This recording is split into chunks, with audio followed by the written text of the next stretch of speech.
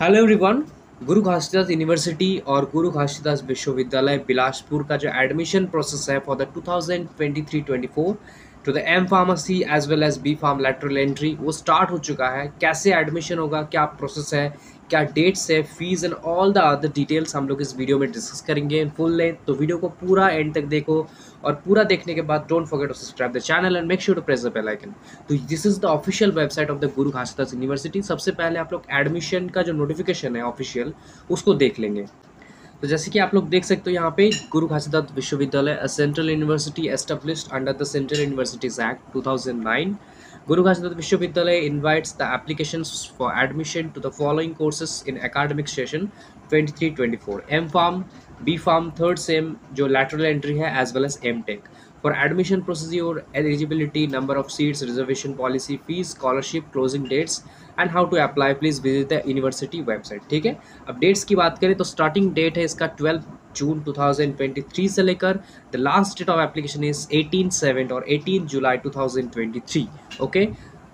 अभी हम लोग बात करेंगे कि M pharm and B pharm lateral entry के में सीट्स कितने हैं कौन कौन से सब्जेक्ट्स हैं एलिजिबिलिटी क्या है एज लिमिट क्या है and all the other details ठीक है? तो सबसे पहले एडमिशन नोटिस है ये। कोर्स की बात करते हैं सबसे पहले तो यहाँ पे एम फार्मेसी का जो कोर्सेस है एम फार्म इन फार्मास्यूटिक्स जहाँ पे आपको 15 सीट्स मिलेंगे ओके फार्मास्यूटिकल केमिस्ट्री जहाँ पे ऑल्सो 15 सीट्स मिलेंगे कोलॉजी है 10 सीट्स के साथ and the pharmacognosy with 15 seats this four subjects are there अब एलिजिबिलिटी की बात करें तो बी फार्मेसी विथ 50 पर with 50 percent marks and the valid GPAT score का ओके जी पैड अगर आप क्वालिफाइड है तो आप यहाँ पे डायरेक्टली अप्लाई कर सकते हो। अगर आपका जी पैड क्वालिफाइड नहीं होता है तो आप लोग भी यहाँ पे फिर भी अप्लाई कर सकते हो। यहाँ पे एक एग्ज़ाम होता है, उस एग्ज़ाम के थ्रू यहाँ पे एडमिशन होता है for the non GPAT students ठीक है? Below seven twenty seven year olds ये एज लिमिट है यहाँ का। और B pharm third sem lateral entry इसके लिए D pharm with first class आपका होना चाहिए। ओके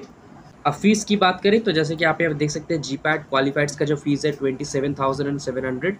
और उसके बाद सेकेंड थर्ड सेम पे twenty five thousand and something twenty five thousand nine hundred twenty six thousand and four fifty ऐसे ऐसे चलता रहेगा। This is the fees structure for the non GPAT candidates admission जो होगा will be done on the basis of merit list of the Vishwavidyalaya entrance test जिसको VET बोलते हैं 2023 जो कि ऑनलाइन और ऑफलाइन बोथ हो सकता है एज द सिचुएशन परमिट्स जैसे सिचुएशन होगा, उस हिसाब से ऑनलाइन भी हो सकता है ऑफलाइन भी हो सकते हैं, ठीक है? और जो अगर ऑफलाइन हुआ तो जी में ही होगा मतलब उसी कैंपस में होगा। Availability of seats for the non GPAT candidates through the exam test will depend on the number of admission through the GPAT score मतलब GPAT के थ्रू जितने एडमिशन लेते हैं और कितने सीट्स बचते हैं उसके बाद, उससे, उसके ऊपर डिपेंड करेगा ये नॉन जी को कितने सीट्स मिलेंगे, ठीक है?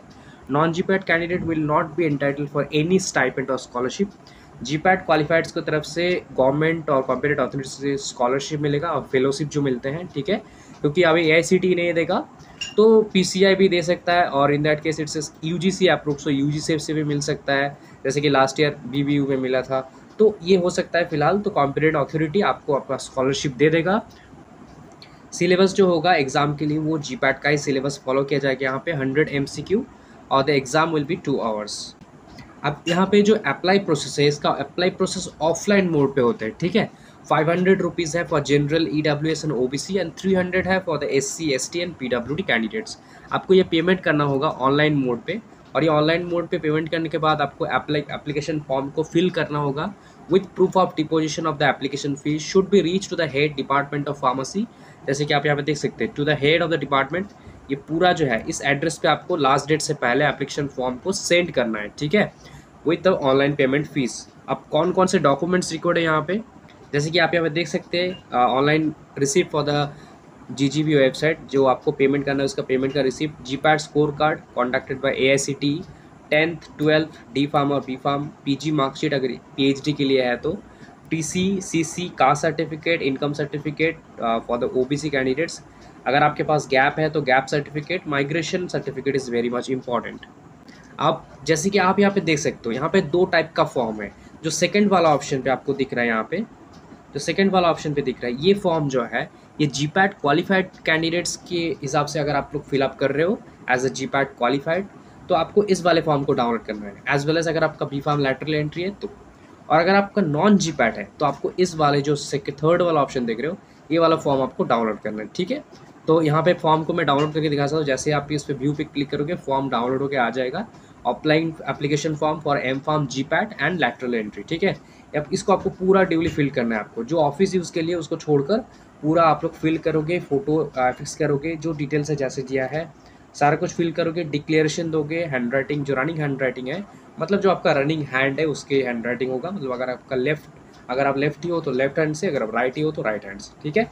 ये duly filled application form and with all the other details आपको फ़ीस रिसिप्ट के साथ सेंड करना है, जो एड्रेस वहाँ पे दिया है। This is the full apply process अगर आपको इसके बारे में कुछ भी और डिटेल में जानना होगा तो आप इसके नीचे कमेंट कर दोगे तो मैं आपको कमेंट पे रिप्लाई दे दूँगा, ठीक है? And thank you so much अगर आप मुझे कॉन्टैक्ट करना चाहते हैं तो इंस्टाग्राम का आईडी दिया है। आप लोग इंस्टाग्राम पे मैसेज कर सकते हो या फिर व्हाट्सएप पे भी मैसेज कर सकते हो। Thank you so much and don't forget to subscribe the channel